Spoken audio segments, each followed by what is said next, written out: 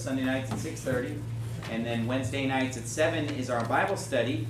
Tonight, or this Wednesday night, we will be in 2 Samuel chapter 24, the last chapter of the book of 2 Samuel. Below that, we have our soul winning times, uh, salvations, baptisms, offering totals. Let's go ahead and count up the soul winning from the past few days, going back to Thursday, which would have been the 25th. Anything to report from Thursday, the 25th?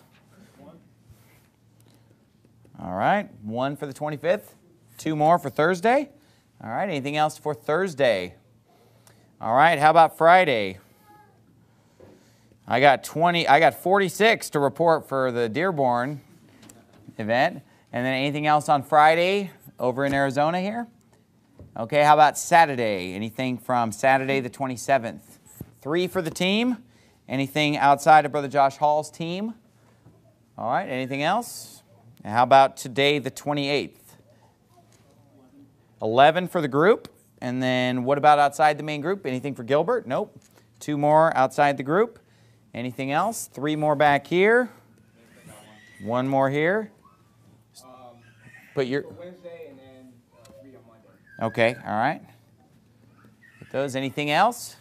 All right, very good. Keep up the great work on soul winning. Cross the page there. We have the July birthdays listed, and we will have donuts on next Sunday morning in honor of all the July birthdays. We do this once a month, and so if you get here at 10 o'clock instead of 10:30 next Sunday morning, we'll have donuts and coffee for everyone.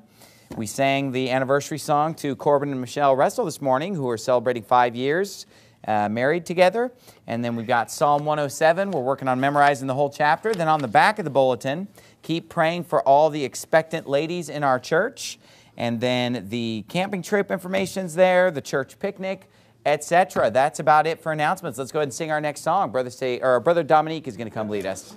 Come on up, Brother Dominique. Turn your songbooks over to 406. Who is on the Lord's side? I am. Song number 406.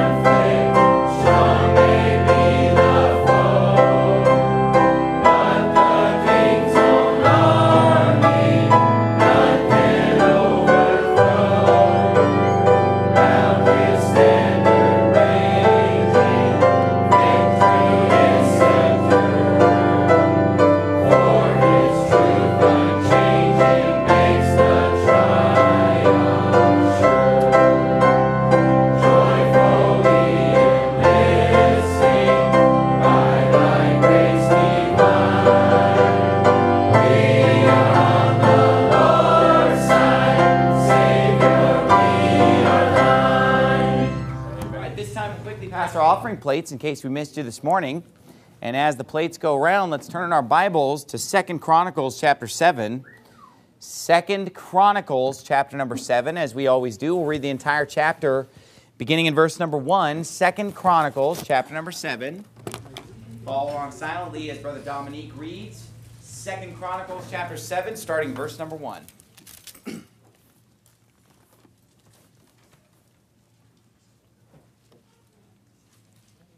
Second Chronicles chapter 7. Now when Solomon had made an end of praying, the fire came down from heaven and consumed the burnt offering and the sacrifices. And the glory of the Lord filled the house. And the priests could not enter into the house of the Lord because the glory of the Lord had filled the Lord's house. And when all the children of Israel saw how the fire came down and the glory of the Lord upon the house, they bowed themselves with their faces to the ground upon the pavement and worshiped and praised the Lord, saying, For he is good, for his mercy endureth forever. Then the king and all the people offered sacrifices before the Lord. And King Solomon offered a sacrifice of twenty and two thousand oxen and an hundred and twenty thousand sheep. So the king and all the people dedicated the house of God. And the priests waited on their offices, the Levites also with instruments of music of the Lord, which David the king had made to praise the Lord, because his mercy endureth forever. When David praised by their ministry, and the priests sounded trumpets before them, and all Israel stood. Moreover, Solomon hollowed the middle of the court that was before the house of the Lord. For there he offered burnt offerings and the fat of the peace offerings, because the brassen altar which Solomon had made was not able to receive the burnt offerings and the meat offerings and the fat. Also, at the same time, Solomon kept the feast seven days, and all Israel with him, a very great congregation, from the entering in of Hamath unto the river of Egypt. And in the eighth day, they made a solemn assembly, for they kept the dedication of the altar seven days, and the feast seven days. And on the three and twentieth day of the seventh month, he sent the people away into their tents, glad and merry in heart for the goodness that the Lord had showed unto David and to Solomon and to Israel his people. Thus Solomon finished the house of the Lord and the king's house, and all that came into Solomon's heart to make in the house of the Lord and in his own house, he prosperously effected. And the Lord appeared to Solomon by night and said unto him, I have heard thy prayer and have chosen this place to myself for an house of sacrifice. If I shut up heaven that there be no rain, or if I command the locusts to devour the land, or if I send pestilence among my people, if my people, which are called by my name, shall humble themselves and pray and seek my face and turn from their wicked ways, then will I hear from heaven and will forgive their sin and will heal their land. Now mine eyes shall be open and mine ears attentive to the prayer that is made in this place. For now have I chosen and sanctified this house, that my name may be there forever. And mine eyes and mine heart shall be there perpetually. And as for thee, if thou wilt walk before me, as David thy father walked, and do according to all that I have commanded thee, and shalt observe my statutes and my judgments, then will I establish the throne of thy kingdom, according as I have covenanted with David thy father, saying, There shall not fail thee a man to be ruler in Israel. But if ye turn away and forsake my statutes and my commandments, which I have set before you, and shall go and serve other gods and worship them, then will I pluck them up by the roots out of my land which I have given them. And this house, which I have sanctified for my name, will I cast out of my sight, and will make it to be a proverb and a byword among all nations. And this house, which is high, shall be an astonishment to everyone that passeth by it, so that he shall say, Why hath the Lord done thus unto this land and unto this house? And it shall be answered, Because they forsook the Lord God of their fathers, which brought them forth out of the land of Egypt, and laid hold on other gods, and worshiped them, and served them. Therefore hath he brought all this evil upon them. Brother Thomas, can you pray for us? Dear Heavenly Father, I just ask that you live with us this evening, and um, you fill Pastor Anderson with your spirit, and you let us be edified, and you give us ears to hear. And thank you for the souls that were won today. And in Jesus' name, amen. Man, the part of the chapter I'd like to focus on is, of course, the famous verse in verse 14, which reads, If my people, which are called by my name, shall humble themselves and pray and seek my face and turn from their wicked ways, then will I hear from heaven and will forgive their sin and will heal their land. And of course, tonight I want to talk about the subject that's on everybody's mind today in America this decision made by the Supreme Court on Friday that has legalized sodomite pervert marriage across this nation and it has made it the law of the land, even in the few states that had held out against this filth because they still represent a majority of people who respect God's word at least halfway or somewhat to at least take a stand on that one issue. And I just want to give a biblical perspective of the, the condition that our country is in tonight and why is our country in the condition that it is. Now, the Bible says here in chapter 7, verse 14, if my people, which are called by my name, shall humble themselves and pray and seek my face and turn from their wicked ways, then will I heal, then will I hear from heaven and will forgive their sin and will heal their land. And I want to preach tonight about the fact that I believe that the reason our country is in the condition that it is is because of the Christians in America Amen. and because of the preachers in America and the weakness of both. That is the problem tonight. You see, perverts have always been perverts, the evil have always been evil, the wicked have always been wicked, but it's when God's people take a stand and do right and are the salt and the light that God has called them to be, that the land is healed. And the reason that our land is not healed tonight is because God's people have not turned from their wicked ways. It is the Christians today that are to blame for what we saw on Friday. Now, what we saw on Friday, it didn't ruin my day at all. You know, I was out soul winning in Dearborn, and somebody said, Hey, did you hear the news? You know, the Supreme Court has made this decision. Because honestly, Friday was not when our nation died spiritually. See, the battle was lost when the pastors backed down on the issue of sodomy, and that happened many years ago. That's when the battle was already lost and basically, Friday was just a formalizing of that which had already come to pass. You know, it reminds me of the big battle, you know, in the war for uh, independence in our nation. You know, the big battle at Yorktown in, in 1781. And that was the war that pretty much sealed the deal that the United States had won. You know, but the war wasn't really technically over until 1783, right? but that was just a formality. They were beaten at Yorktown, okay? So what I'm saying is Friday was just a little icing on the cake, you know, no pun intended.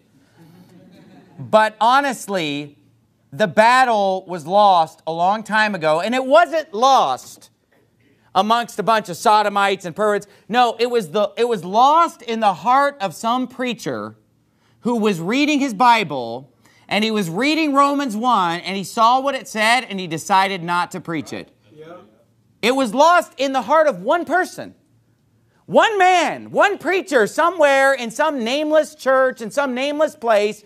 He was reading his Bible and he got to Romans 1 and everybody knows what it says. It's all crystal clear. And he saw it and he decided, you know what, I'm not going to preach that. And that is why our country is in the condition that it is. Yep. Now, just to tell you a few things about this decision, if you would go to 1 Corinthians chapter number 2. The Supreme Court in our nation that made this decision does not represent the people of the United States of America. Let me just start out by saying that. This is not even an elected body. It's appointed by the president. And if you look at the makeup of the Supreme Court, if you look at their religion, the Supreme Court is made up of six Roman Catholics and three Jews. Did you know that? Now, our nation today, if you look at the religious demographics of our nation, 50% of our nation is either a Protestant or an evangelical Christian. 50%. Okay? But that's not represented at all on the Supreme Court, not even one.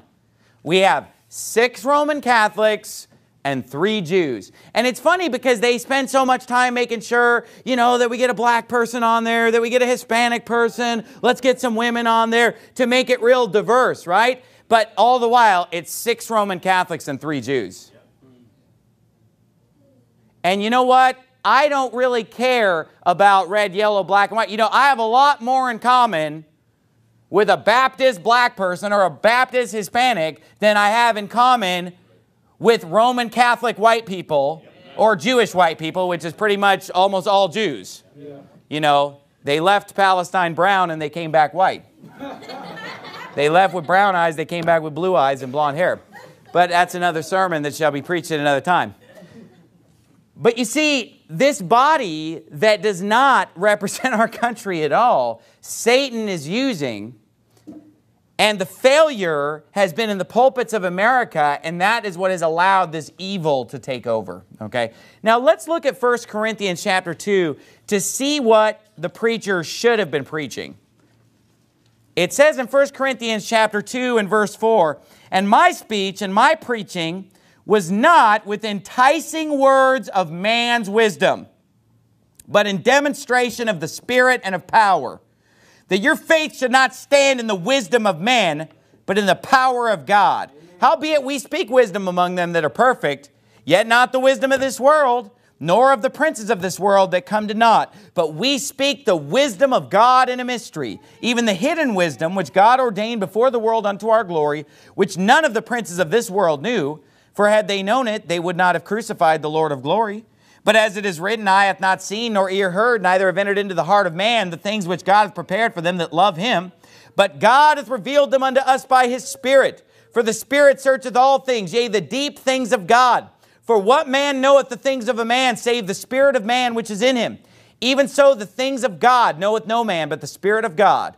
Now we have received not the Spirit of the world, but the Spirit which is of God that we might know the things that are freely given to us of God, which things also we speak, not in the words which man's wisdom teacheth, but which the Holy Ghost teacheth, comparing spiritual things with spiritual. Now, the Bible says that when we speak the wisdom of God, not the wisdom of the world, but the wisdom of God, He says we speak in the words which the Holy Ghost teacheth, and those are the words of the Bible. Amen. The words that the Holy Ghost teacheth. The Bible says that the Word of God is the sword of the Spirit.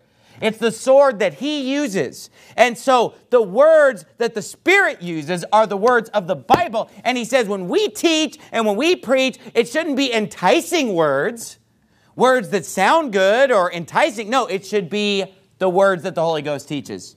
Now, I don't believe that it's my job as a preacher to stand in judgment of God Almighty. I don't think I have the right to decide, you know, whether God's word is acceptable or not, or whether it's appropriate or not, or whether God's right. You know, I don't read my Bible and ask myself, I wonder if God was right in this situation. That never enters my mind. Because I know that everything God does is right.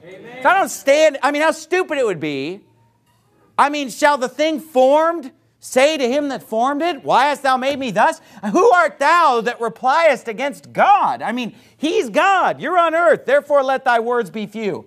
God is supreme. And so I'm not going to stand in judgment of God. Everything God says concerning all things is right. The way he says it is right and the words he uses are the right words to use. And if I'm going to be a spirit filled preacher, I must preach in the words that the Holy Ghost teacheth, not the words that man's wisdom teacheth. Now, on the wall painted behind me, there's a Bible verse at the top here.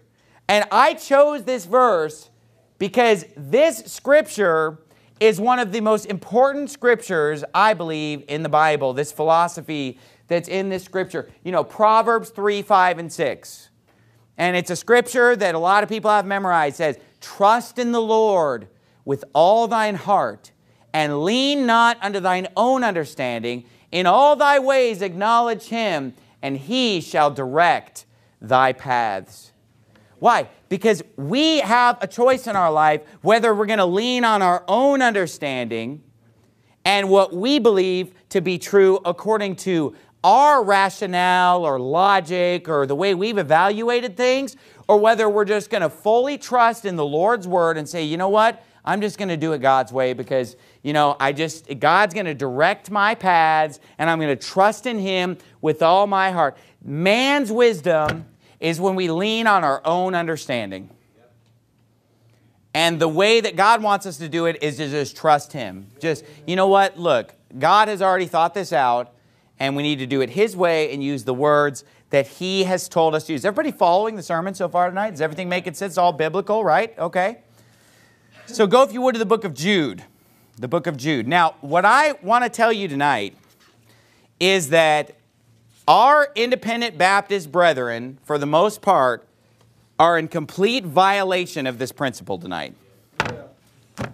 Because of the fact that if they were following what the Bible has just shown us in 1 Corinthians 2, then they would be preaching and using the words that I'm going to show you right now from the Bible. And I want to just make this real clear tonight because I, this is a historic day in our, even though it doesn't really matter to us, we don't really care that much about it because we already know where we stand, what we believe. We're never going to accept sodomite marriage just because a bunch of Jews and Catholics have decided that we have to accept it. We're never going to accept it. Amen. We'll never look at it and think it's normal. We'll never recognize it. So it's really not that important to us in that sense. But it's a historic date, you know, and I'm glad that I'll always remember it as a date when I was out soul winning. Yeah. You know, that's, that's kind of cool. But the thing is, it's a historic date in the decline and downfall of our country when so many people rallied and cheered and were so thrilled to just exalt the worst filth imaginable yeah, right. in our country. And on this historic occasion, I want to just lay down real clearly where I stand. I'm not really even so much preaching against the homos tonight. Because you know what the Bible says? He that is filthy, let him be filthy still. Amen. That's what the Bible says. But you know who I'm preaching against tonight? I'm preaching against my fellow pastors and especially my fellow independent Baptist brethren. That's who I'm preaching against tonight. Now, you know what a lot of my fellow independent fundamental Baptist brethren are doing today? They're getting up behind their pulpits and they are grandstanding about how they're against gay marriage and they're standing. But really, it's their fault that it even went through. Yeah. And they don't even realize it. And the reason why it's their fault that it happened is because they did not preach in the words that the Holy Ghost taught. They stopped doing it decades ago. Now you say, well, which, which fundamental Baptist preachers are you talking about? Well, here's a test. You think of your favorite fundamental Baptist preacher or any independent Baptist preachers you know or evangelical Christian pastors that you know. Let's give them the test right now. And I'm going to let it know, be known where I stand. And listen, I am breaking fellowship with any fundamental Baptist pastor who will not stand against the Sodomites. Period. And I'm giving you my test right now. This is the test. These are the words that the Holy Ghost teaches. And if they will not, listen to me, this is where I stand. If they will not use these words from the pulpit, I will have nothing to do with them, and I don't want anything to do with their ministry because I consider them a part of a major aspect of the downfall of our country, and I want no fellowship with them because I don't want that weakness and watered down ministry to affect me. And I won't, li- I won't listen to any preacher ever again who will not use these Bible words. And this is the test. You, hey, what do you think about this preacher? What do you think about this preacher? Listen to me. If they don't use these words, if they didn't, if, if they got up today and preached about homosexuality and none of these words came out of their mouth, then you know what? I, d- I do not approve that message. I'm sick and tired. Listen to me now. I want to make it known where I stand. I am sick and tired of pastors getting up and saying homosexuality is a sin and I'm against gay marriage, but they won't use the words that the Bible uses. And they are trimming the message and they're preaching a tiny percentage of what needs to be preached. The Bible says man does not live by bread alone, but by every word that proceedeth out of the mouth of God. And if they won't use the words that God uses, Amen. they are a fraud and a liar and a compromiser, and they need to sit down and shut up and let somebody get behind the pulpit who has the guts to say what needs to be said. Amen. They all need to step down. Weaklings, cowards, fools. And here's what I've been hearing so much over the last few months. Oh, Pastor Anderson, it's people like you are the reason why people don't like Christians. Well, let me ask you this. How can you blame that on people like me when there's like only a couple of me and there's like a million of them? There's a million pastors who say, oh, we need to love the homos and oh, we still love them and we don't hate them. There's like a million preachers like that. And then there's like a handful that are screaming that they're reprobates, like the Bible says. And it's like, oh, you're the problem. Don't blame me.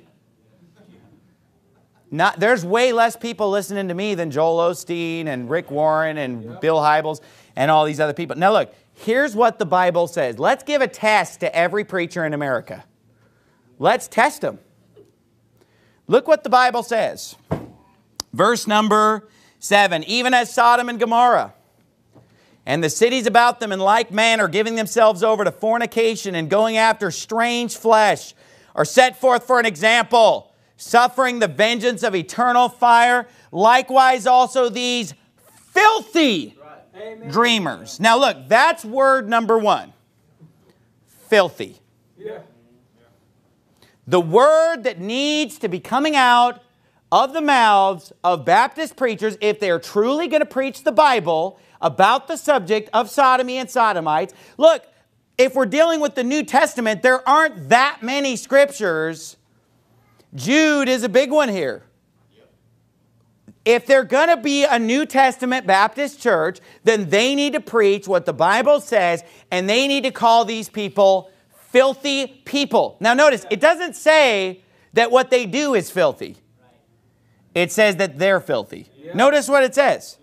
Likewise, also, like what? Like Sodom and Gomorrah, these filthy dreamers defile the flesh, despise dominion, and speak evil of dignities. Now, I'm going to move real slow in my sermon tonight just to make sure that there's no child left behind tonight. I want every single babe in Christ to understand what I'm saying tonight. The Bible says that they're filthy, and that if we're going to preach biblically, we would say these are filthy people. Homosexuals are filthy people. All God's people said? Now, if you say, well, I don't think you should say they're filthy people, then you know what? You are denying the Word of God, you're denying the Holy Spirit, and you're leaning on your own understanding. So the pre, but, and here's what people say hey, they're filthy. And then here's what they'll say well, how are you ever going to reach them if you use words like that? Oh, you're leaning on your own understanding. Yeah. That question is not relevant. Because if God said, preach the word, if God said, use the words that the Holy Ghost has taught you to use, then why would you even question it? Just the fact that you're even questioning it shows that you're leaning on your own understanding and you're ignoring what God told you to preach. Yep. God was right when He said, Preach the word, use the words that I taught you. They are filthy people. But yet, most Baptist preachers will not say homosexuals are filthy. They're not right with God. You need to quit listening to them. I, you know, I don't want anything to do with them. Right. Shut them up and get somebody up that will use the words that I'm sick of man's wisdom. I want the wisdom the Holy Ghost teaches. Now, people say, oh, you're stuck in the Old Testament. Well, Jude is the 65th book of the Bible. I mean, the, the New Testament must have started by now.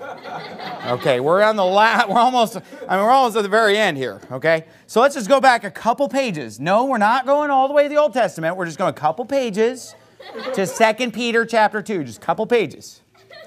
We're still like way into the New Testament here, okay? 2 Peter, and, and let me point this out. The Bible says, even as Sodom and Gomorrah and the cities about them in like manner, giving themselves over to fornication and going after strange flesh, are set forth for an example, suffering the vengeance of eternal fire. Look, that's an example in the New Testament. So, therefore, to say that Sodom and Gomorrah is not relevant is to deny the New Testament, because the New Testament says, in the New Testament, our example of sodomy and of homosexuality and what God thinks about it, the example that God gave us, He gave us an example. Sodom and Gomorrah. Fire and brimstone, eternal damnation. That's the Bible's teaching on it in the New Testament. Okay? Now look at 2 Peter chapter 2. The Bible says in verse 6, and turning the cities of Sodom and Gomorrah into ashes, condemned them with an overthrow, making them an example unto those that after should live ungodly, and delivered just Lot, vexed with the filthy conversation of the wicked. Now, just in case we could give these pastors an excuse and say, well, they missed it in Jude. They missed it. They were falling asleep as they were reading their Bible that day. Well, it's in 2 Peter 2. How, how, how can you miss it? It's repeated. It's filthy. They are filthy. Amen. But yet, I don't hear that word coming out of preachers' mouths about this subject very often er, at all. And then it says, For that righteous man dwelling among them and seeing and hearing vexed his righteous soul from day to day with their unlawful deeds.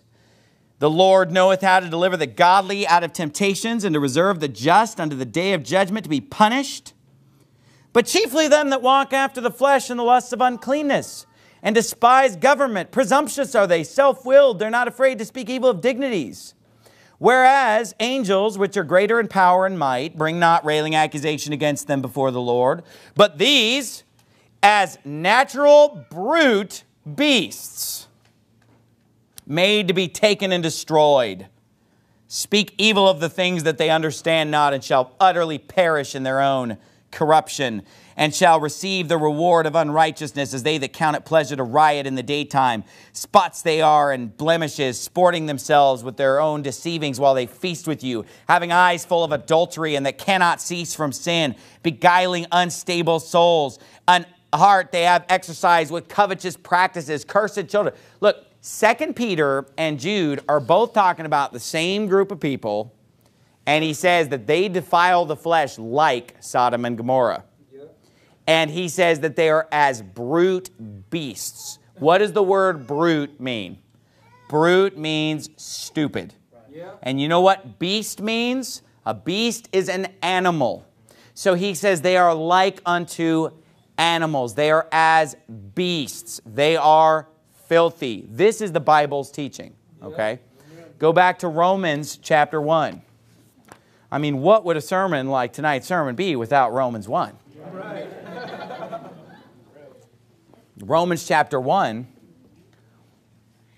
we have this passage. And look, the test tonight is this it's, it's just a short test for these preachers, these so called men of God, who are actually men of their own, men of their own pride and aggrandizement, men of their own understanding, men of their own self exaltation, men of their own self proclaimed you know, leadership of fundamentalism, right? These men who are more interested in being popular and loved of this world and loved of the brethren than in preaching truth.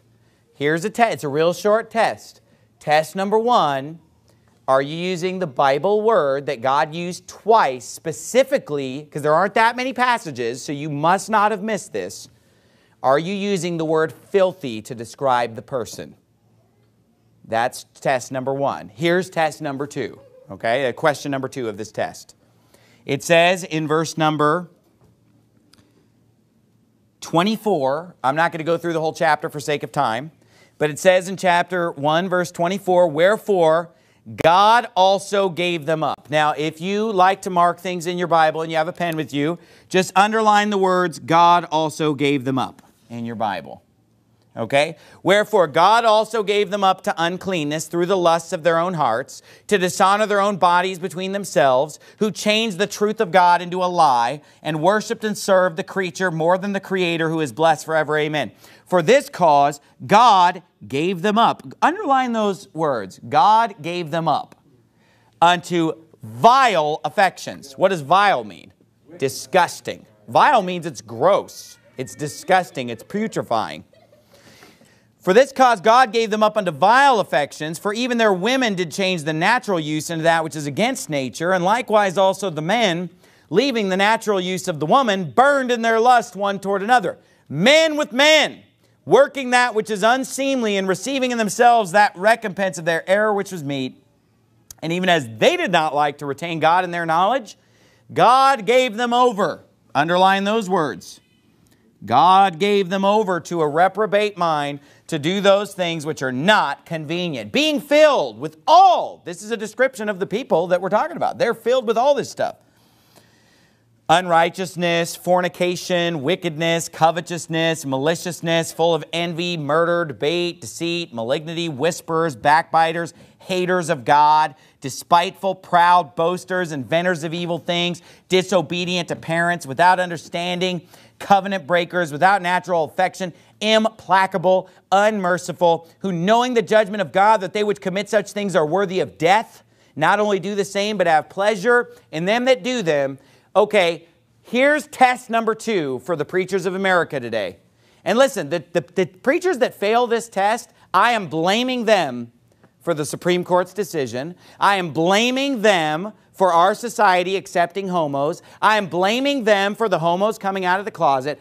I am blaming them for the downfall of this country because they have chosen to set their own salary or their own popularity or their own pride or their own self aggrandizement or whatever above using the words which the Holy Ghost teaches, and they have chosen to go down the wrong path, and it is their fault. Test number two do they teach that God gave them up or gave them over? I mean, look, you say, well, some people don't interpret Romans 1 the way that you interpret it. Okay, but do they teach that God gave them up? However, they want to interpret that. Listen to me, my friend. You don't agree with my preaching. You don't agree with my interpretation. Well, listen, you interpret that however you want. But if you're not using the words that the Holy Ghost teaches, meaning if you're not saying, you know what, these men who burn in their lust toward another man, God gave them over to vile affections. God, listen to me, God gave them over to vile affections. God gave them up unto uncleanness through the lusts of their own heart. God gave them over to a reprobate mind. This is three times mentioned, and I promise you that every pastor in America who hears about this decision, they went to Romans 1 when they were preparing their Sunday sermon. If they were going to address this subject, right? They went to Romans 1. They look, look, there's not a pastor in America that's never read Romans 1. So ignorance is not an excuse. Every pastor in America has read Romans 1 repeatedly. And Romans 1 says three different times God gave them over to vile affections. So let me ask this why are 99% of independent Baptist preachers not teaching that God gave them over to these vile affections? I mean, is anybody really going to dispute that with me tonight? Will anybody stand up and say, No, Pastor Anderson, I think most Baptists tonight are teaching that God gave them over to vile affections? You never hear that. You never hear it. Yeah. Never. It, it's like it doesn't exist. But, but how can you read that? I don't care. You said, well, you just have the wrong interpretation. I don't care what your interpretation is. It says God gave them up God gave them over. God gave them. Up. You have to teach something about those four words. You have to, or you're not preaching the Bible. You can't just pretend that they don't exist. You can't just say, well, here's what Romans 1 teaches, and never address the fact that God gave them over to vile affections. Just ignore it, doesn't exist. But, you know, I don't care what God said. No, God said that, and He said, look, Pastor, look, preacher, when you're preaching on homosexuality, be sure to use the words that I taught you. Filthy. Amen. Be sure to use the words that I taught you. God gave them up. Yeah. God gave them over right. to vile effects. You say, well, how did they get that way? Are you going to lean on your own understanding? How does God say they got that way? The Bible says God gave them over to vile affections. The Bible says God gave them over to do those things which are not convenient. Now, what does the word convenient mean? Well, think about just the normal definition of convenient that you and I know. If something's convenient, what does it mean? If I said, hey, you know, I like to go to that store because it's convenient.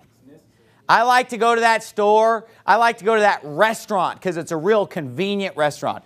What, what do I mean by that when I'm saying the store's convenient? Easy. It's easy, right? What else? I mean, like if I'm talking about a convenient store, you know, usually that means it's real close to where you live. Because if you think about it, you know, there's this tiny little market, tiny little market that's right next to my house. It's right between Wigland and Hairland in this little shopping center that's right next to my house. It's right between Wigland and Hairland. It's right next to my house. And here's the thing that little convenience store, it has way less selection than Fry's over here on Baseline. It has way less selection than Food City up here on Southern. And it's right between Food City and Fry's. So you say, well, why would anyone go to that tiny little store that has such a little selection? Because it's convenient. And why is it convenient? Because it's right there. I mean, it's just, it's just at hand. I mean, a lot of people don't have a car, don't have a ride, so it's real easy for them to just walk over to that little convenience store that's right in their neighborhood and get what they need. So when something is convenient, it's something that's near at hand. It's easy to get to. It's right there. It's readily available. It's something that just it makes sense to go there because it just everything just goes smooth. Now here's the thing, when God says here in Romans 1, if you look down at your Bible, and I'm look, I'm just trying to teach you the Bible tonight. It, not in my words that my wisdom came. You know, here's the thing. I don't even have any sermon notes tonight. Nothing up the sleeve. You know why? Because, you know, I'm just preaching what the Bible says tonight. I don't, I don't have any of my own wisdom here. Let's just see what the Bible says. It says right here in verse 28 and even as they did not like to retain God in their knowledge, God gave them over to a reprobate mind. And you know what else God did? God gave them over to do those things which are not convenient. So earlier it says God gave them over to vile affections. Now, what does affection mean? If we talked about a public display of affection between my wife and myself, you know, kissing, hugging, right? It's, it's, it's basically, you know, showing love, right? Quote unquote. Affection. Okay? So if, my, if I were to kiss my wife, that would be a public display of affection. So what's a disgusting, filthy, vile affection? You know, it's something that would be, you know, in that category, except it's gross. Yeah, right. Like men with men. That's what it says, okay? So it said he gave them over to vile affections. And then it says here, he gave them over to do those things which are not convenient. That means if they hadn't have been given over, they wouldn't be doing those things that are not convenient, and they wouldn't have those vile affections except God gave them over to vile affections. God gave them up unto vile affections. Now, here's the thing. Why does he say that he gave them over to do the things that are not convenient? What does he mean by that? He's saying that these things are not just readily at hand. It's not what you would just kind of reach out and start doing because it's not normal. Right. So that which would come naturally would be something that is just readily at hand. If you want to go live a life of sin, if you want to gratify your sinful flesh, you know, that which would be normally, naturally done, that which is at hand, that which you would normally be on the verge of doing, that which would come to you easily, he said, no, they're doing things that are not convenient. I mean, these are things that would not normally be done. You wouldn't normally you'd have to go out of your way to do this. You know, something that's not convenient, you're going out of your way to do it. You know, oh man, that store, it's not convenient because I got to go way out of my way. I never would have gone there. I never would have gone down that road except I had to go to that store. It's not on my normal route. Because, see, on my normal route, everything's convenient. You know, if I'm going down 48th Street anyway, boom, there's a store here, a restaurant here, it's real convenient. But if I have to go out of my way, somewhere that I never would have normally gone, you know, that's real inconvenient. So when the Bible says they're doing things that are not convenient, it's saying it's not the things that are on the normal path of a human being. It's not things that would come naturally to anyone. That's why he just finished saying it's against nature. Yeah. So I'm not just pulling this stuff out of thin air by saying, hey, it doesn't come naturally. He just said it's against nature. Nature is that which we naturally do. See, every human being is programmed by God in their DNA to do certain things and not do certain things. It's like animals. You know, they're just programmed and they know what to do. It's, you know, the, the, the, the swallows fly back to San Juan Capistrano and the salmon swim upstream to places. Butterflies fly to places that they've never seen and they know exactly where to go, where they're supposed to be, and they all go to the same place and they've never been there and no one told them how to get there. And somehow they're born and they go into a cocoon and they hatch and they just fly to a certain place. And there's one place in the world where every monarch butterfly flies. They all go to one place. And there's a certain time of year when all monarch butterflies on the planet are in that one place. I mean, if some deranged person were to just napalm that place, there would never be another monarch butterfly again. But what is it? It's instinct, it's nature, right? And we human beings have a certain nature. You know, when did you choose to be straight? It's nature. It's called instinct. It's called being a human being. Yeah. You're just born to know, hey, I'm a man and women look good and men aren't, you know, have no appeal. You know, and uh, you know, it's just it's just that simple. You know? Well, when did you decide that? It was already decided before I was even born. Because my DNA told me that. Just like the DNA told the salmon to swim up the stream and everything else. See, this other stuff's inconvenient. This other stuff is vile. This other stuff is deviant and perverted. Okay? And it's against nature. Now, in this scripture, it says that God gave them over to vile affections. So for a preacher to preach on Romans 1 and not mention that, not talk about that, you know what? He has an agenda and he's a liar. He's a fraud. Just to just overlook that and forget that. And you know, preachers used to preach that. I remember listening to many old preaching tapes where pastors would get up and say, Three times he said that God gave him up, God gave him over, God gave him up. You know, it was just, it was just part of the preaching of the passage because it's there. But now all of a sudden it's like it's gone.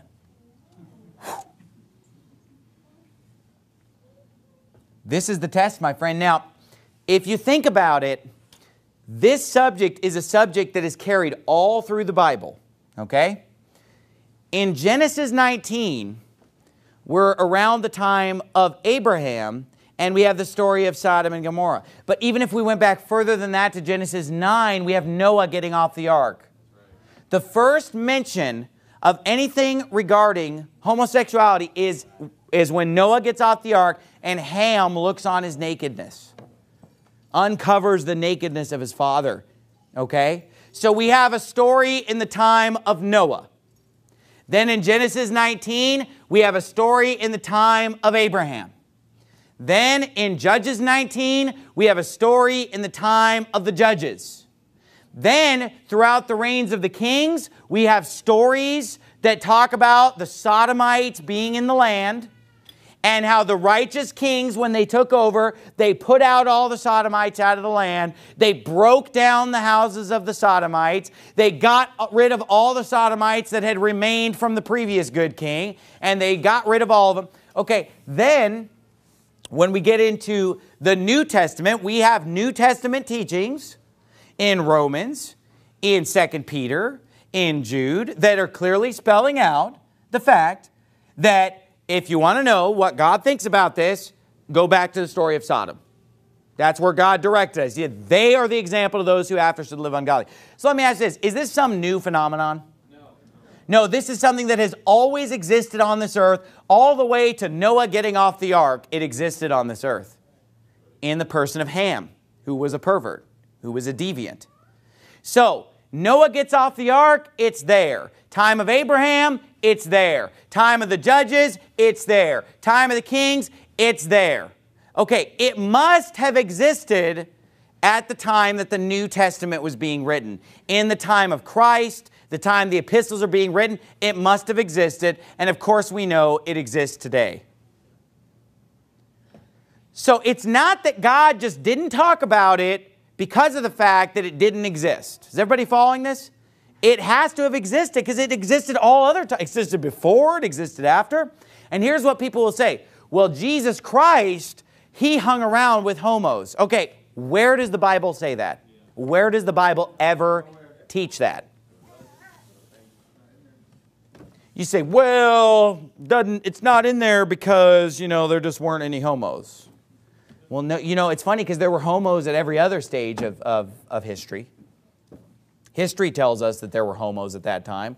Common sense tells us that there were homos all these other times. There were homos then. You know what? So let me ask this. Why is there no example of Jesus hanging out with homos, ministering to homos, loving the homos, praising the homos, telling us, hey, you know, I'm going to choose a homo disciple, you know, and we're, or we're going to bring the homos into our church and, and we're going to forgive the homos and all this stuff. Why is there no example? Why is the only New Testament teaching on this just saying, hey, look back to Sodom? Hey, God gave these people up. God gave these people over. These people are vile. These people are filthy. They're reprobates. And he says this even in Philippians the Bible says, beware of dogs. And he's not talking about Fido. When, you know, if you study Deuteronomy, the Bible refers to homosexuals as dogs. And he says, beware of dogs. He's warning us of them. And then in Revelation, he talks about how they're all going to be in hell without our dogs. Okay? So the thing is, you know, the teaching in the New Testament doesn't seem to offer hope unto homos. I don't see it. Where's the hope for them? Okay, and you go back to the Old Testament, and in Genesis 18, and I want you to turn there tonight so that you can see this with your own eyes in Genesis chapter 18. And look, I'm showing you what the Bible says tonight. I'm, I'm really trying to just be honest with the scripture here. I'm not trying to play games with you and hide stuff. I mean, I'm just showing here. Here's what the Bible says. I don't believe that any pastor who won't call these people filthy is right with God. And I'm just saying that. He's a, he's, he's, he's a, he's a coward yeah. if he won't say they're filthy. And this is what everybody's saying. Yeah, but if you call them names, they're never going to get saved. But hold on a second. Why are you using your own understanding instead of doing what God said? They're cowards. And, and what they do is they hide behind, oh, well, I have a different interpretation. No, you have no interpretation. Right. Yeah. Because if you have a different interpretation of God gave them over to vile affections, I'd like to hear it. In fact, if anybody in this room has a different interpretation, I would like you to share it with me right now. And I won't, I won't be mean to you. I won't yell at you. Is there anybody here amongst the hundred and some people that is here tonight that can tell me what God gave them over to vile affections means? If it doesn't mean that they had the vile affections because God gave them over? to have those vile affections? Can, can somebody, I mean, does somebody have a different interpretation? I'm all ears.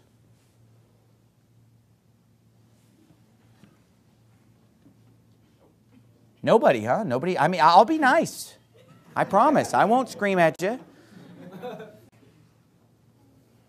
Because only an idiot would think that it could mean other than what it says in plain English that God gave them over to vile affections. Right. And especially when you repeat something three times, only an idiot would not get it after the third time.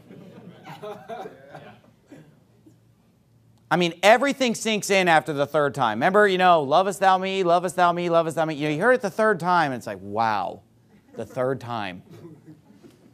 The threefold cord is not quickly broken.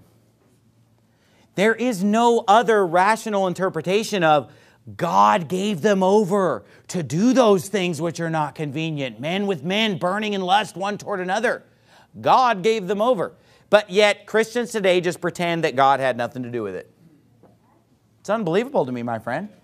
Look what the Bible says in Genesis 18.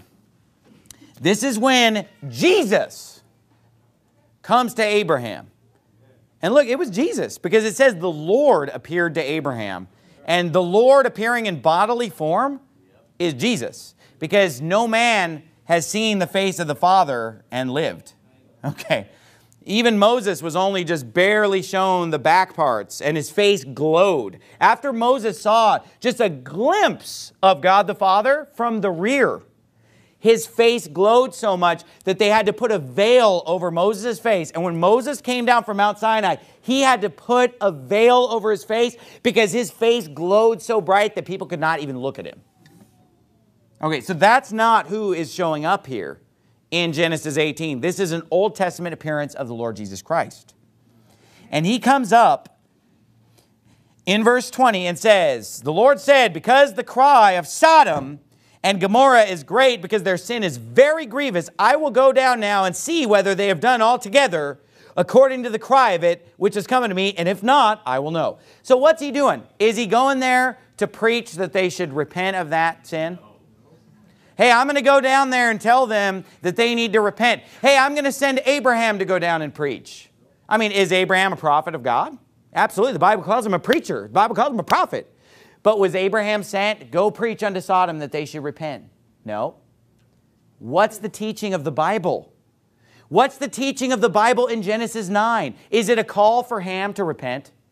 But all over America today, Christians saying, let's love the homosexuals. Let's be nice to the homosexuals. Let's not call them dirty names like filthy. Let's call them to repentance. But where is the call to repentance in Genesis 9 for Ham? Nope, it's just cursed be Canaan.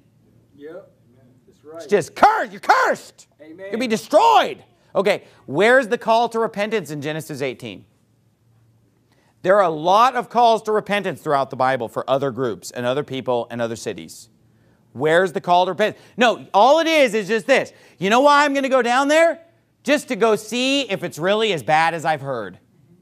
Is that not what the Lord is saying? And he says, if it's not, then I'll know. And obviously, we know that God knows everything, but he's doing this for symbolic meaning. He's doing this to show us symbolically because, and, and that's another sermon. But here's the thing he goes down there just to see whether they're doing it. And he says, if it's true, I'm going to destroy them and wipe them out. Okay? That's exactly what he does. He doesn't send a preacher, he doesn't send a sower. There's no call to repentance. He just says, I'm going to wipe you guys out. Then, when the angels go down to Sodom, they rescue just Lot, meaning just, meaning righteous, okay? They deliver Lot, and Lot brings his wife and his two daughters. Now, there are two angels that came to get Lot out of Sodom, and they each have two hands, right? And the Bible says that they laid hands on Lot, Lot's wife, and Lot's two daughters, and that, you know, one in each hand, you know, they got four hands, and they literally dragged them out of Sodom to save them from the Lord's wrath. And here's what God says to Lot's wife, okay, in Genesis 19, through these angels, he gave this instruction. When he sends them to get them out, he says in verse number 17, And it came to pass, when they had brought them forth, that he said, you're in chapter 19, verse 17, Escape for thy life, look not behind thee, neither stay thou in all the plain, escape to the mountain, lest thou be consumed. And of course, what happens in verse 26? His wife looked back from behind him, and she became a pillar of salt. So, Lot's wife was clearly told, don't look back. She looks back, and God strikes her and kills her by transforming her into a pillar of salt. Then in the New Testament, Jesus says that when Jesus Christ returns, it will be as it was in the days of Lot. Now, is that prophecy being fulfilled or what? He says it'll be like it was in the days of Lot, and here's what he says Three words, one of the shortest verses in the whole Bible. I love the short verses. I love the verse, Jesus wept. I love the verses that are very short, pray without ceasing. One of the shortest verses in the Bible says this Remember Lot's wife, period. Remember Lot's wife. What should we remember about Lot's wife? I think a lot of preachers have forgotten Lot's wife. I think America has forgotten Lot's wife today. Remember Lot's wife. What does it mean to remember Lot's wife? Well, here's the thing. What did she do wrong? She was told not to look back, and she looked back. Why was she told not to look back? Is a good question to ask, right? And here's another good question Why'd she look back? And the answer is this she left her heart in San Francisco. it's that simple. See, here's the thing.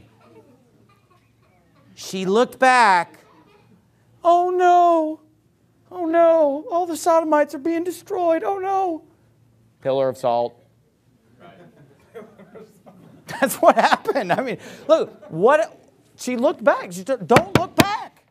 Amen. So look, if God wants to rain fire and brimstone on the sodomites, you know what I'm going to do? I'm going to turn and look the other way.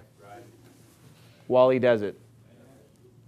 I mean, is anybody listening tonight? I mean, look, if God wants to pour out, and, and you say, well, how do you know he wants to do that? Because he said that even as Sodom and Gomorrah and the cities about them, in like manner, giving themselves over to fornication and going after strange flesh, what's a synonym for strange? Queer. Strange flesh are set forth for an example. An example, suffering the vengeance of eternal fire. That's our example in the New Testament. So we know that that's still how God feels about it today. He didn't say, you know, I've evolved on this, I've changed on this, I don't feel that way. So if God wants to rain fire and brimstone on the Sodomites, which he does because he never changes, he's always the same, Amen. then I want to do like Lot did. I'm just going to turn my back and let him do it. And I'm not going to look back. Don't you care? No. Because I'm not, I'm not going to turn around and look, look at it. I didn't want to look at it. I don't want to look back. You know what? If God wants to destroy it, I'm just going to look the other way. Now, did God say that to Nineveh? No, God said, go preach to Nineveh. Go get Nineveh saved, right? Why did he not say, go get Sodom saved? Because the Bible says that all the men of the city, both young and, and old, they all came to participate in the sodomy. All of them. Lot was the only man. He was the only righteous man. So that's why God pulled Lot out and rained fire and brimstone and said, Don't even look back. Just look the other way as I destroy. Okay, so where's the hope? Where's the call to repentance? Where are the soul winners and preachers being sent? Not there. Okay, then we go into the story of the judges. And in the story of the judges, we see a lack of supernatural intervention. What we see is man taking care of the problem. There's no fire and brimstone in Judges 19. What we see is a story that's almost identical to Genesis 19 with the sodomy and the homos and everything like that. But what we see in that story is that man takes up the call to arms. The children of Israel, they come to the land of Benjamin where the wickedness had taken place, where the homos were, and they said, Deliver us these sons of Belial that we may put them to death. And the Benjamites refused to deliver the sons of Belial, and they said, Then we will declare war on the whole nation of Benjamin. And we and they literally, listen to me, they literally wiped out the entire nation of Benjamin.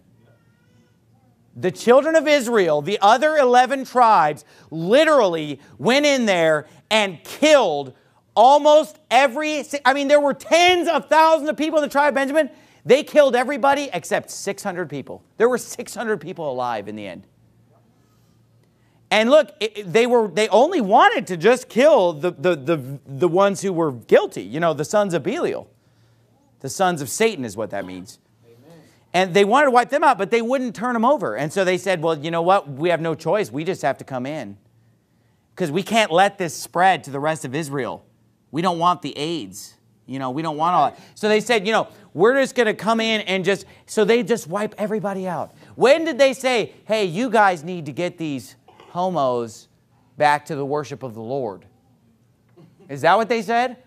We need to get these homos to worship the Lord with us. No, they said, no, deliver them to be executed or we're going to wipe out your whole country if you don't deliver them to be executed. That's, so where's the call to repentance? Where's the hope? Where's the love and the grace? And it isn't there.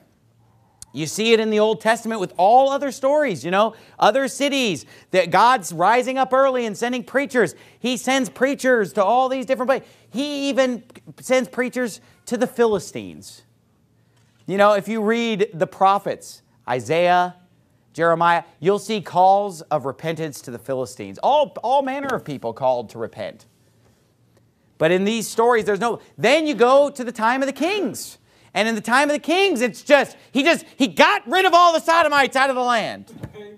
He broke down their houses that were near unto the house of God. Break down that house, too close to God's house, wrecking ball. When did it say that they evangelized the houses of the sodomites? They evangelized sodomites. You don't see it, okay? All throughout the Old Testament, it's real consistent, right? Then we get into the New Testament, right? And as we're reading the New Testament, if we start in Matthew and we're reading the New Testament and we're going through this, when we read the four Gospels, we never see Jesus interacting with homos. We don't see him eating and drinking with homos. Now, do we see him with publicans? Tax collectors? Yeah. Do we see him with prostitutes? Yeah. Do we see him with uh, uh, drunks? Do we see him with adulterers? Yeah. I mean, the Bible spells out that he's with those groups and he's saying, you know what? Hey, they that are whole need not a physician, but they that are sick. I'm not come to call the righteous, but sinners to repentance. And we see him with all those groups. But the, no mention of him going to pedophiles and homos, which are both the same group, by the way. Then, then we get to Romans 1, right? We're reading our Bibles. Then we get to Romans 1, and there's this chapter that just real clearly explains to us how they got that way, how these people hate God, and even as they did not want to retain God in their knowledge, they don't want to think about God, they don't want to remember God exists. God gave them over to a reprobate mind to do those things which are not convenient. God gave them up unto vile affections. Look, read Romans 1. It says that they rejected the Lord, hated God, didn't even want to think about him, and so he gave them over to vile affections. So when, if the homo says, well, God made me this way, he's actually right. How can you say that, Pastor Anderson? How can you say anything other than that when that's what the Bible says? Right. Now, God didn't make him that way in the sense that he's born that way, because of course no homo was born that way.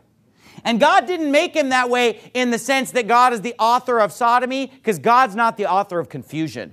Right. But God gave him over unto his own filth, because it's through the lust of his own heart. But you say, well, wait a minute, Pastor Anderson, that doesn't come naturally. But this is what it is God basically removes the normal instinct, the normal nature of a human being, and gives him the heart of a beast. And a beast will hump anything. Look at these dogs that go crazy at certain times. He basically gives them that heart of a beast. And so it's not that God is making them do these sick things. Of course not. It's their own choice which things they do, what perversions they do which is all of them, you know, according to Romans 1. But it's because God gave them over to vile affections. So basically, this is the way it works. And look, I'm, I have to teach this because we need, because first of all, other people aren't teaching it. Somebody's got to teach it. It's real important. See this brown square up here, okay, on the carpet? Let's say that this brown square on the carpet represents that which a normal human being is capable of doing. Does everybody understand? Everything in this brown square represents everything that a normal human being is capable of doing. And we all have a sin nature, don't we? Don't we all have a tendency to sin? Isn't it hard to do what's right? Isn't it a battle to constantly stay on the right path in our lives? I know it is for me. I, I always have to try real hard to do the right thing. We all have to. God says we got to die daily, mortify the flesh, deny self. Okay? Paul said there's a battle going on between the flesh and the spirit. So, within this box of normal human behavior, lying, stealing, killing, adultery, blasphemy, pride, foolishness, an evil eye, right? Covetousness. Uh, all these different things are within the realm of what a normal human being does, and we're capable of doing all these things because we have a sin nature. We are born with a sinful nature, meaning we have a tendency, meaning it's convenient. I mean, is it ever convenient to lie? Sometimes it's convenient to steal, it's convenient to do whatever. So that's all in the realm of normal behavior, okay? Out here on the black carpet, let's say this just represents everything that is beyond what any normal person would ever do. And we're not talking about saved people, we're just talking about any human being. Forget religion. They could be Hindu, Buddhist, Muslim, atheist. This is what normal people would ever do in their lives. Then there's this stuff over here on this side of the line. This would represent that which is not convenient, that which is just so revolting. This would be pedophilia, homosexuality. Okay, this would be just the most weird, sick, perverted. I mean, this is just disgusting things that we would just say, whoa, man, that's revolting. That's horrific. Okay? So here's what God does, okay? Come, come on up here, Brother Dominique. So here's Dominique, okay? Tonight he's just going to represent just he's just an unsaved guy, okay? But he's a normal unsaved guy. So he's staying within the realm of being a human being.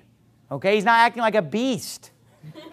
but then what happens is he gets to a point where he rejects the Lord, doesn't even want to retain God in his knowledge, turns the truth of God into a lot, you know, all the things that Romans 1 says. And so at one point, God gives him over to, see over there? What's over there? Vile affections. What's over there? Things that are not convenient. So here's all God does God just gives him over, he just pushes him across this line. Okay? Now he's over here. God's not making him do that stuff, but God gave him over, meaning that God took away. It's like, go ahead and sit down. It's like if your car had like a governor on it that keeps you from going beyond a certain speed, right? It's like God just removes that governor. And now you can go wherever. So God just kind of takes him and just gives him over to this land of vile affections, and then he's going to do all kinds of weird stuff over there. Sodomy, child molesting, just stuff that stuff that's just revolting to even unsaved people. I mean, I don't think this is hard to understand at all unless you just don't want to understand it. You know what I mean? If you just don't want to understand, because then people are going to call you hateful. But here's what the Bible says over and over again. It's real consistent, Old Testament, New Testament. Now, here's what people will point to. Go to 1 Corinthians chapter 6. Because this is what people bring up. They'll say, well, Pastor Anderson, you don't get it because 1 Corinthians 6 clearly, and I, I love when they put clearly in front of it. Yeah, clear as mud. 1 Corinthians 6 clearly says that homosexuals can be saved. I mean, it's just crystal clear right there. It tells you that they can be saved. Now, let's look at the passage and let's see what it says. Now, first of all, if I have the whole Bible teaching one thing and one scripture that seems to teach something different, which one do you think I'm probably under, misunderstanding? The one or the 10? You know, it's sort of like when people go to James 2 to tell you it's by works when you have a 100 clear scriptures that tell you it's by faith. You know, which one do you think you're misunderstanding? Yeah, you're misunderstanding James 2, okay? Well, they'll go to this scripture and they have just hit the sodomy jackpot. But here's the thing I don't care how many times you show me 1 Corinthians 6. Here's the thing you're never going to convince me, listen to me now, you're never going to convince me that normal men are tempted with homosexuality because I know that that's not true. Because number one, the Bible says it's not true, because the Bible says that it's something that they're given over to. And the Bible says that it doesn't, it's not convenient. It's not at hand for a normal person. Number, number two, I know that my, me personally, it's revolting. There's no temptation. But not only just me personally, here's the thing. We all know that we grew up, you know, and you're in school, you're in the locker room, you're talking to other dudes and stuff, and you know, you know they would talk about, hey, this girl and that girl, and you know, some of the conversations got real inappropriate and everything. But here's the thing about that though. You know and I know that of the men that we've been around in our lives, this has not been a temptation for them. I mean, wouldn't you agree that the people that you've come into contact with and spent time with, 97% of them, this is not even on their radar. I mean, isn't that true? So if we look at the Bible, we see, okay, this don't come naturally. This isn't something that's naturally struggled with by everybody, okay? Number two, if we look at our personal experience, the men that we've been around and, and the, the kids that we grew up with, this wasn't on the radar for the vast majority. And even today, if we were to go out and talk to people, the vast majority, and even this wicked world, when they do studies and do statistics, they'll even tell you that 90 some percent of people, this is not on their radar. Okay? So we see it in the Bible, and then we see it played out in, in the real in, in basically our real lives, our physical lives. We see it matches, right? Mm-hmm. Okay. Well, let's go right back to 1 Corinthians 6, but before we do, look at 1 Corinthians 10. 1 Corinthians 10, verse 13. Now let's ask ourselves, first of all, who is the book of 1 Corinthians written to? The saints that are at Corinth, the church at Corinth. So it's written to saved Christians at Corinth, and here's what he tells them in verse 13 There hath no temptation taken you, but such as is common to man.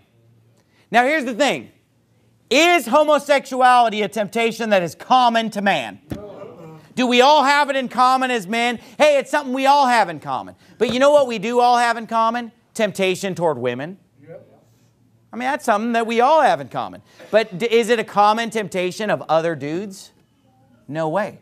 It's not another, it's not common to man. So how could God, how could God say to Corinth, hey, there's no temptation taking you, but such as is common to man if he's talking to homos?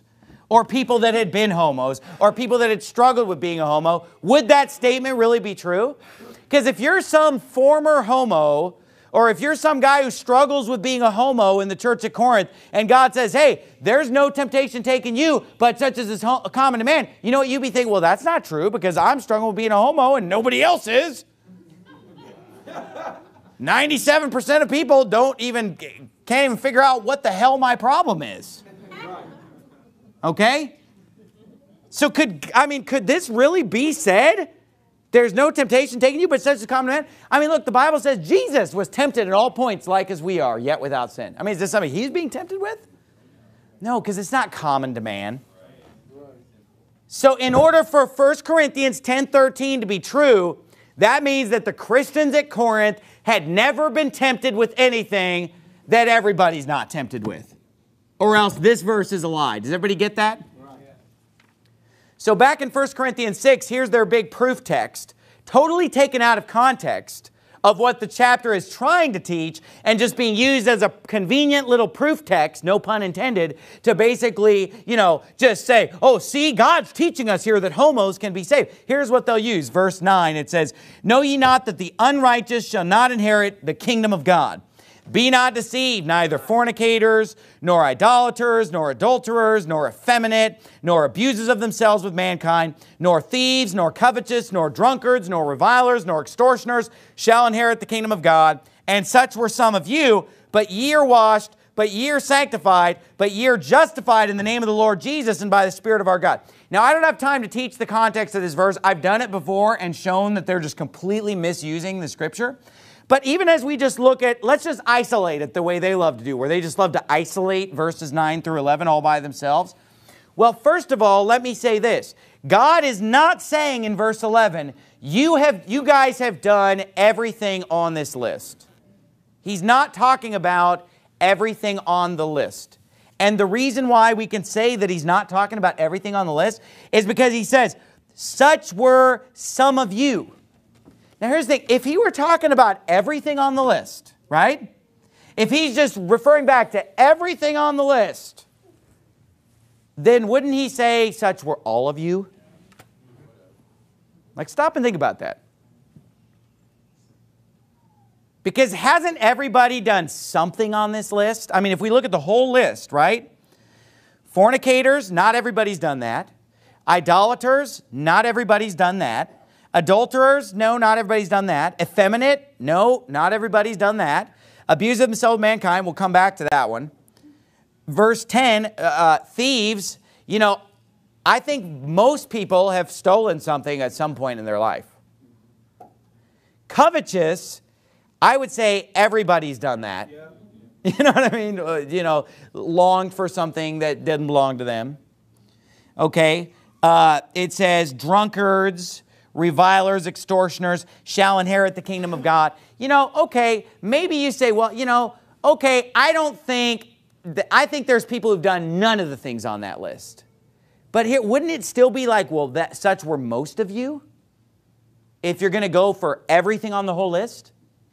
But he says, such were some of you. Okay? Such were some of you. Some of you were like that. Okay? But you're washed, you're sanctified, you're justified in the name of the Lord Jesus and by the Spirit of our God. The first thing I would point out is that I do not believe that he is saying that the people at Corinth had done everything on that list. He's not referring to everything on the list.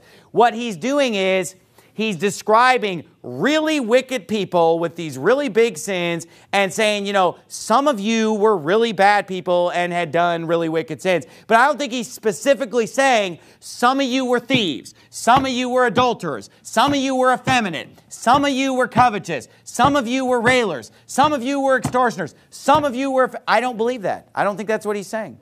Just like when we show people the scripture in Revelation 21 where it says, you know, all liars shall have their part. But it lists other things. It says fearful, unbelieving, abominable, murderers. We're not saying they've done everything on the list because if they've done anything on the list, the verse applies to them. So what I'm saying here is that I don't believe that you can just point to this verse and just categorically say that there were people in Corinth who had done every single thing on the list. It doesn't say abusers of themselves with mankind shall not inherit the kingdom of God, and such were some of you. That's not what it says. He gives a big long list of things and then says, Such were some of you. And the such were some of you cannot just be guaranteed to apply to every single thing on the list, number one. But number two, do we really know for a fact that abusers of themselves with mankind is the same person described in Romans 1, a man burning in lust toward another man? Does this say men who burn in lust toward another man? Is that what this, does that mention made here? Think about it. Does this verse say, some of you were men who burned with lust toward other men? No, here's the things that are on the list effeminate and abusers of themselves with mankind. Now, first of all, does effeminate mean that you're a homo? It means that you're a metro. Because all effeminate means is that you're feminine. And you know what? There are plenty of guys who are totally straight, not a homo whatsoever, and yet they are effeminate, meaning they're girly men. Don't be a girly man. but that don't make you a homo because you're effeminate. Okay, so that right there, let's take that out of the equation. That's a different sin. Right? So then all it comes down to is this set of words, abusers of themselves with mankind. And basically what the modern versions will do here, they'll just substitute the word homosexuals. So if you get an NIV or something, it'll just say homosexuals or homosexual offenders or practicing homosexuals. They'll put something like that. But in the Bible here, in the Word of God, in the King James Version, it says abusers of themselves with mankind. Now, I'll tell you one thing for sure. If this verse, let's give it to you that, okay, it's saying that they did everything on the list, which I don't think that's what it's saying at all.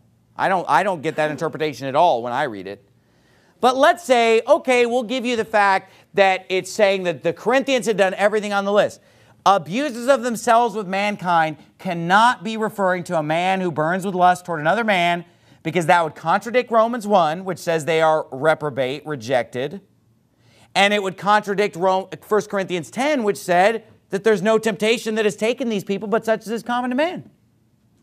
Therefore, this cannot be referring to a man who burns in lust toward another man. So if it says abusers of themselves with mankind, is it possible for a person to abuse themselves with mankind without lusting after another man?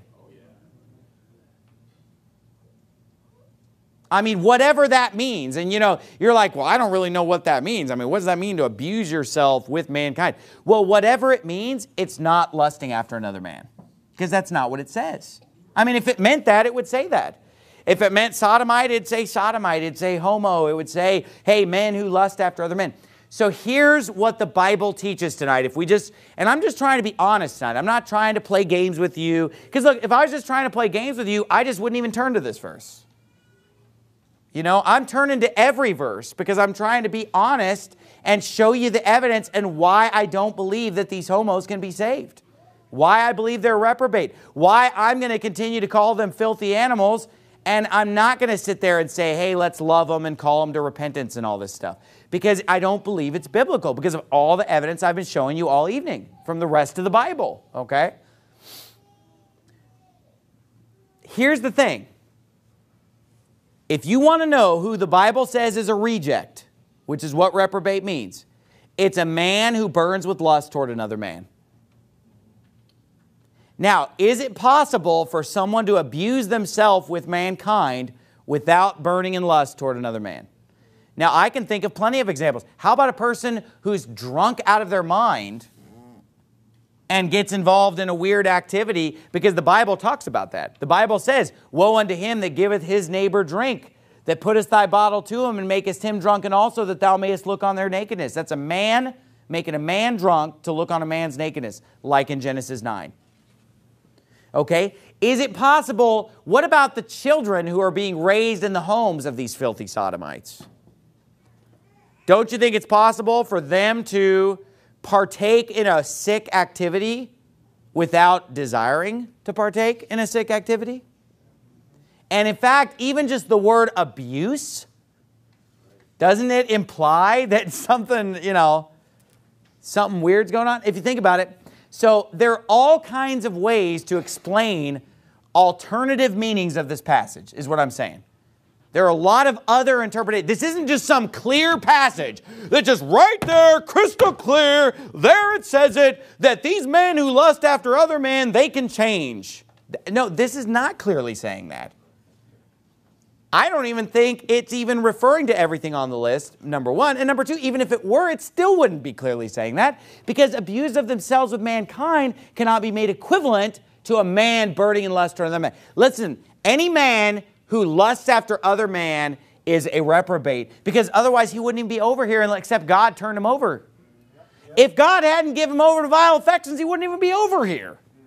He'd still be over here with the rest of us normal people committing normal sins that are natural, part of the sin nature. The reason he's over here in the first place because he's been given over to vile affections. Now, somebody in this zone right here could be molested or abused or forced to do things that they don't want to do. Gun to the head, knife to the throat, whatever, for, uh, forced in whatever way to partake of a sick activity, partake of an activity under the influence of alcohol or drugs, partake of an activity because they, they're too young to even know what they're doing or something, and they're being groomed to participate in activities that they don't even understand. A person could abuse themselves with mankind, you know, and not even know what's going on because they're a child, for example. Okay? But any man, let me just make it real clear any man who lusts after another man is over in this zone over here. And you know who shoved him over there? God. That's what I believe. And I don't, I, you know, I don't see how you can get around it in Scripture. Romans 1. Romans 1 is the clear passage. This is a different subject, different passage, saying something different. It's not saying the same thing as Romans 1. It's saying something different. So it must be talking about something different. And it's using totally different words, totally different vernacular. So to sit there and just, hey, everybody, let's just ignore Genesis 9. Let's ignore Genesis 19. Let's ignore Judges 19. Let's ignore all the kings and what they did with the Sodomites. Let's ignore 2 Peter 2. Let's ignore Jude. Let's ignore Romans 1. And it's just all about 1 Corinthians 6, 9 through 11. That's a stupid way to read the Bible. But you know what? It's a real convenient way to read the Bible for people who don't have the guts to stand up against our culture that is now accepting homos. And look, I'm just I'm going to call out some names of people that need to be called out. And one of them is Bob Gray from Longview, Texas. This guy is a leader in the independent fundamental Baptist movement. And you know, if you're going to set yourself up as a leader in the independent fundamental Baptist movement, then you're opening yourself up to scrutiny and being called out. Bob Gray, big famous pastor amongst independent Baptists, looked to as a great leader of Baptists, he put out a blog post. He didn't write the blog post, but he posted it. He posted to his Facebook, he posted to his Twitter that said, Can a transgender person be a Christian? And he said, Yes, in the article. It was an article about Bruce Jenner saying that Bruce Jenner says he's a Christian and said that he is a yes, Bob Gray Sr. That that that Bruce Jenner is a Christian. Look up the article. Can a transgender be a Christian? It's about Bruce Jenner. Bob Gray Sr. posted that article to his Facebook and Twitter. Wow. Then Bob Gray wrote an article about his view on the whole thing lately with the homos and the transgender. And here's what he said. He wrote a big long article, never used the word filthy Never talked about the fact that God gave them over to vile affections. Never said anything about them being sick and disgusting or queer. Didn't talk about, you know, God's wrath and damnation. This is what he said. He said, well, you know, I'm not going to put a sign outside our church that says we're gay friendly, but I hope everybody knows that we're sinner friendly. Let me translate that for you. I'm not going to put a sign outside the church that says we're gay friendly, but we're gay friendly.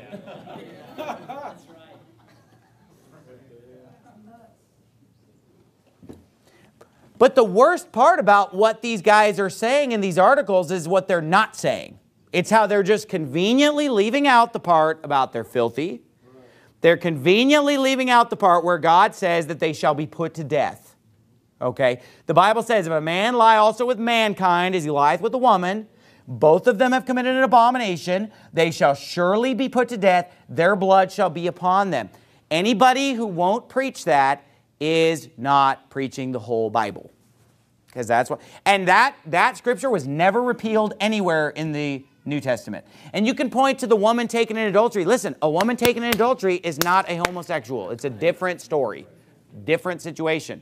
So you can't just sit there and say, oh, well, that's repealed over here, logical leap, because, you know, Jesus showed mercy on the woman taken in adultery. Totally different situation, totally different sin. God showed mercy on David when he committed adultery. Where's the mercy on the Sodomites in Genesis 9? Where's the mercy on the Sodomites in Genesis 19? Where's because uh, we see we see mercy on an adulterer in the Old Testament. Don't we with David? Where's the mercy on Sodom and any of the other stories? Any of the other stories? None. Doesn't exist. That was never changed in the New Testament. It's still there. But why won't people like Bob Gray Sr. mention that they're filthy, disgusting, why won't he mention that the Bible says they should be put to death? Why does he say that they are welcome in his church? He says, Our church is friendly unto all sinners, including homosexuals. Our church is homosexual friendly because it's sinner friendly. That's what he said. Why is he not using the words that the Holy Ghost teaches? Why is he using his own wisdom and understanding? And look, because he's a leader in fundamentalism, he is leading lots of other pastors to be a weakling behind the pulpit. That's what he's leading. You know, I just read, and I don't mind naming the names, these people have lifted themselves up and built Bible colleges, which are unscriptural institutions, because God ordained the local church as the training institution. These guys have built giant Bible colleges where they fashion a quasi denomination where they have all the pastors coming. Look, Paul Chappell just had a leadership conference a few weeks ago where he called 100, I was invited to it. Not to speak, of course, you know. I was invited to it to basically come. I got the invitation. Uh, many invitations. Because he, you know what? You know what? If he's inviting me, he's inviting everybody. He didn't say like, oh man, let's invite Steve Anderson. No, it's because he's inviting every independent Baptist in America. So here's a guy who invites every independent Baptist in America. Come to me for leadership, everybody. Come to me, let me lead you. Let me teach you how to lead. He's lifting himself up. Okay, Paul Chappell. Well, I went to your blog, Paul Chappell, and I read your blog post about the Supreme Court's decision. And you know what you said on there? Well, there, here's how we need to react to this. We just need to remember that we need to love everybody. No matter what. We need to love everybody. That's not what the Bible said. he never said it's filthy. Here's what he said. He said, well, Romans 1, 21 through 28 teaches that homosexuality is a sinful lifestyle that goes against God's creation. That no, that's no, that's not what it teaches. Actually, what Romans 1 21 through 28 teaches is that God gave them over to vile affections. And he said it three times. He didn't one time say what you said, Paul Chappell, the words that your wisdom teaches. Actually, what Romans 1 said was that God gave them over to vile affections. Actually, what Romans 1 said was that God gave them over to a reprobate mind to do those things which are not convenient. Actually, what God said is that they are filled with all unrighteousness and worthy of death. And these are things that you failed to say in your article because you were too busy telling us to love everyone and to treat everyone nicely.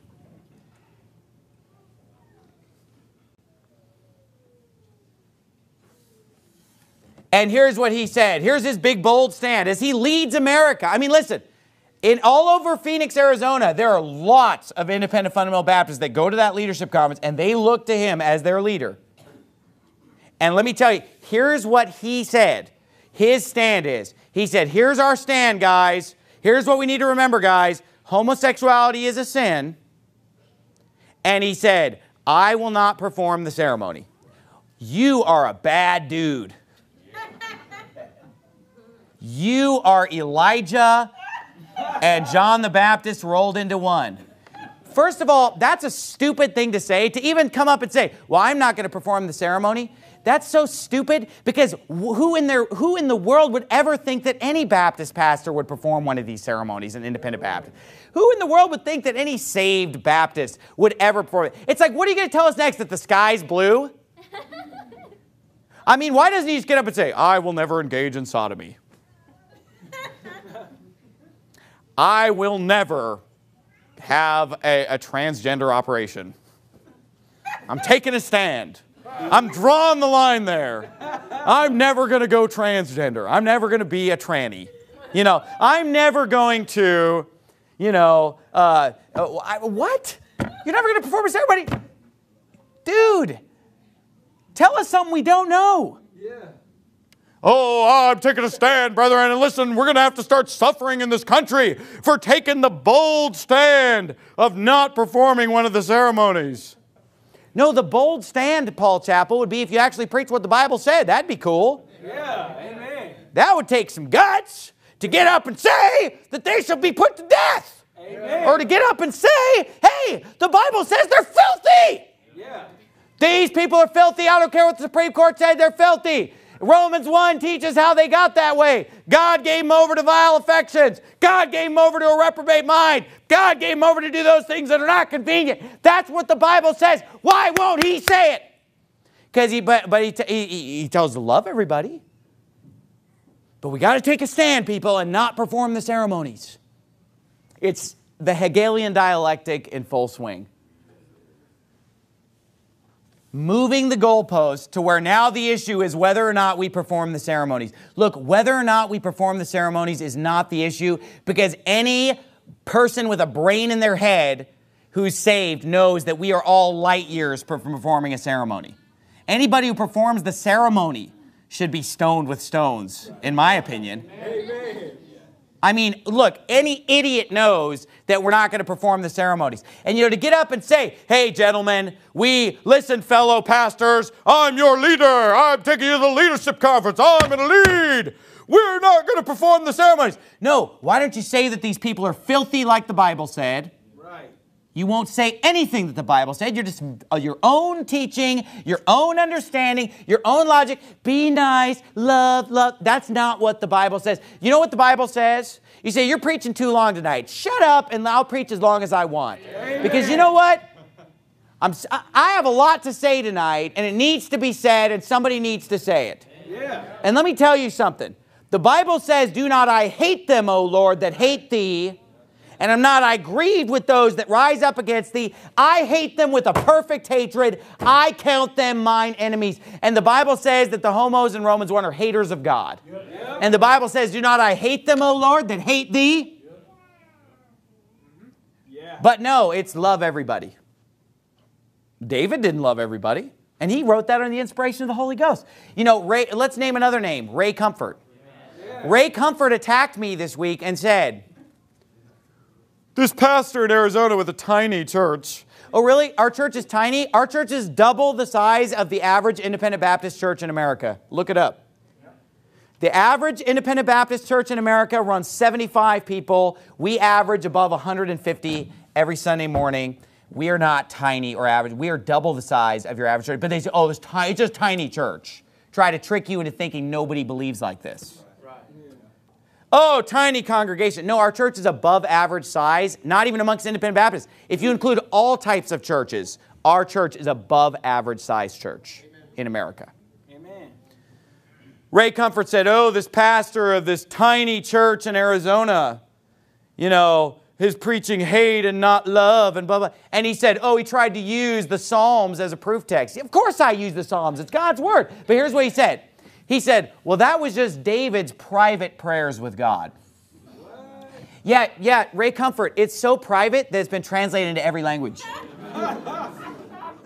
He said, Well, that was just David's private prayer. David was just getting that off his chest between him and God. No, it was a song that David wrote and delivered it to the chief singer and said, Hey, the whole nation's going to sing this song that I wrote. Do you know that the Psalms are songs? I mean, I wish I could, uh, you know, do not I hate them that hate thee. I hate them with a perfect hatred. You know, I mean, I don't know the tune, but I mean, it's intended to be sung publicly. And David didn't just pray this to God and somehow somebody was peeking and listening in and wrote it down and somehow it leaked. Somebody leaked it against God's will and against David. Are you stupid or something, Ray Comfort? How can it be a private thing between him and God it's in the Bible? How can it be private when it's been translated into every language? How can it be private when it's been read by billions of people? Because he's a fool, that's why. And he sits there and says, Oh, this is just, you know, this, this little pastor of this tiny church in Arizona. No, our church is growing every month. Our church is getting bigger and bigger. I think we just baptized six people this morning. You know, and we're about to baptize several more after the service tonight. And say, oh, you know, this tiny little church doesn't understand that Psalms is a very private book between David and God. It's not intended for us to actually read it and believe it and practice it. You know, it's like all those private letters to Titus and Philemon that got leaked.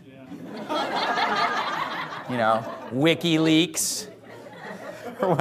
It's like spiritualleaks.com or whatever. Spirit leak. Some spiritual Snowden, you know, that released all this stuff.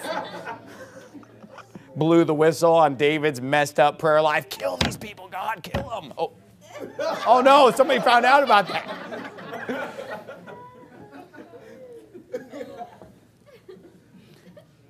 The Bible says this Shouldest thou help the ungodly and love them that hate the Lord?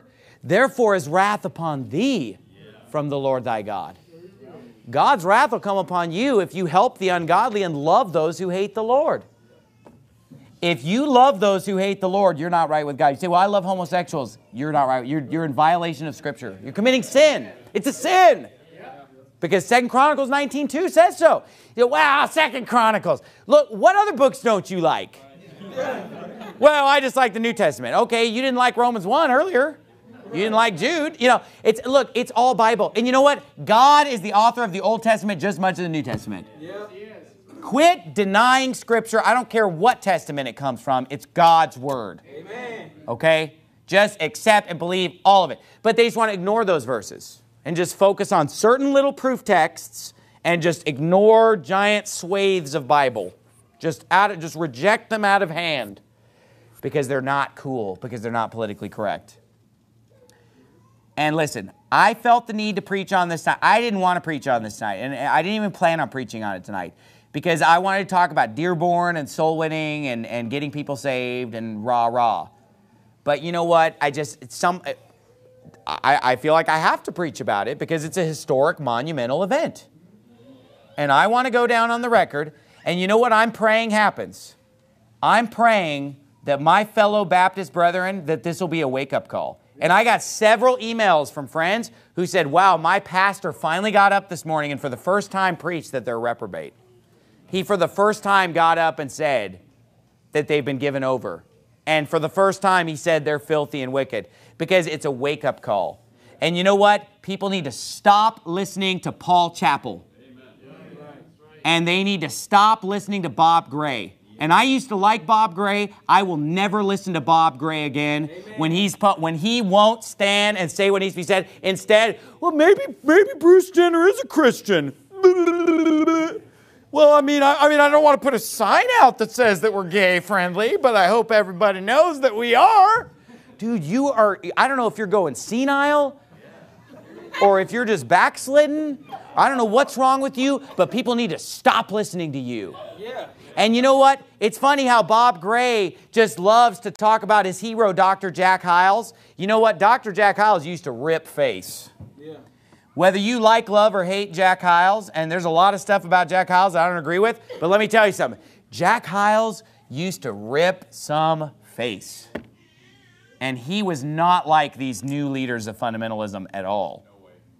He, I, I've listened to the sermons by Jack Hyles where he screamed, God gave him up! God gave him over! God gave him up! I've heard it.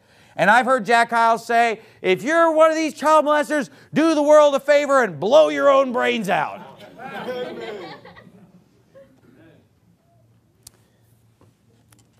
I don't remember Jack Hyles getting up and saying, you know, that, you know, uh, I don't know, maybe some dude who becomes a woman really is a Christian. You say, well, how dare you lash out at your fellow? We need to all band together. Nope, we're all going to band together on the anti sodomy front. Amen. That's who I'm going to band with. And I am, I am tonight, I want to say I'm separating from the softies on sodomy. I'm done with them. And I've, I've tried to get along with my fellow independent Baptists. Anybody who will not, because it's getting, it's getting ugly, friend. The gloves need to come off.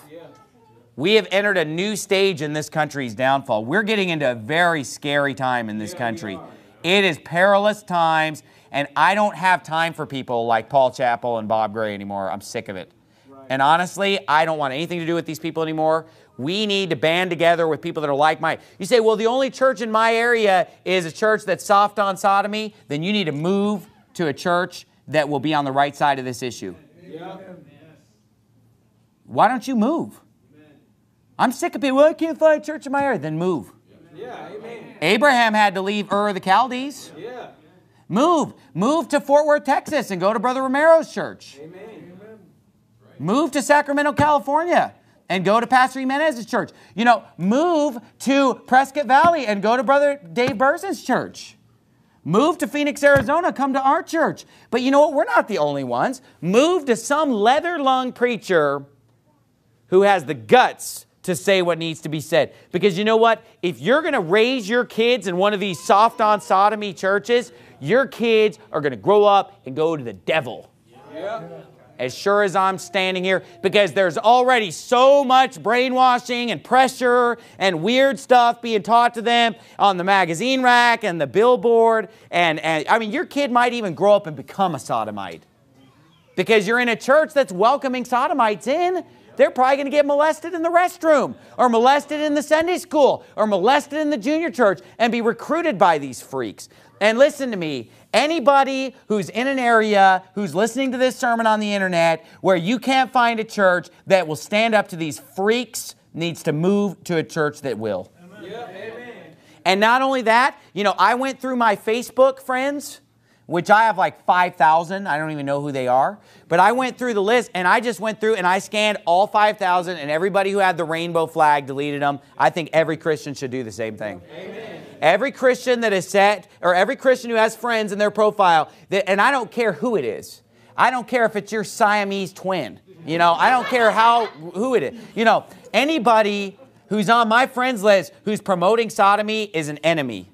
Yeah. that's We're, it's war. Amen. It's war. Yeah. And you know what? Who's on the Lord's side? Amen.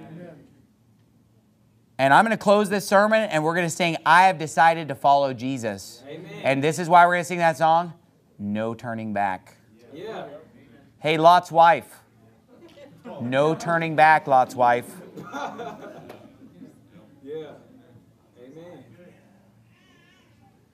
Let's bow our heads and have a word of prayer. Father, we thank you so much, Lord, that there are still some people that have not completely lost their minds in 2015, Lord. The, the people in America have completely lost their minds that they think this stuff is normal. The preachers have gone completely insane to where they actually think, they're so warped, Lord, that they actually think that saying that homosexuality is a sin and that they're not going to perform the ceremony, the fact that they think that that is hard preaching and that they're going to get persecuted for saying that, Lord. Please help these people to regain their sanity, Lord, like you did with Nebuchadnezzar, where you actually gave him his mind back, Lord. I pray that you would give Bob Gray his mind back, Lord. Help him to trim his fingernails spiritually, Lord, and actually come back into the fold of, of uh, people who actually have sanity, Lord.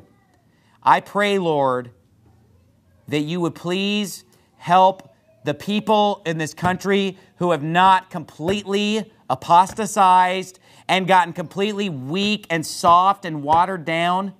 I pray that you'd help them to band together into local churches all across America, Lord, and to forsake these stupid preachers who will not fight sin, Lord, who will not call filthy, filthy, Lord. I pray that you would just help everybody to get out of these loser churches and to get in real, leather lung, soul winning churches. Not just soul winning churches, but soul winning churches that actually rip sin and call it what it is, Lord. And I pray, Lord, that you would help every believer to take a strong stand. Lord, let him that is filthy, let him be filthy still. Him, but Lord, he that is righteous, let him be righteous still. That's what you told us, Lord. Help us to, to fulfill that calling. And in Jesus' name we pray, amen. All right, I'm going to lead us. Song number 316, I think is the song number. Am I right? Yes, sir. Song number 316, I've decided to follow Jesus. No turning back. Let's sing it out in that first verse. Song number 316. Down at the bottom of the page there, 316. Let's sing it out.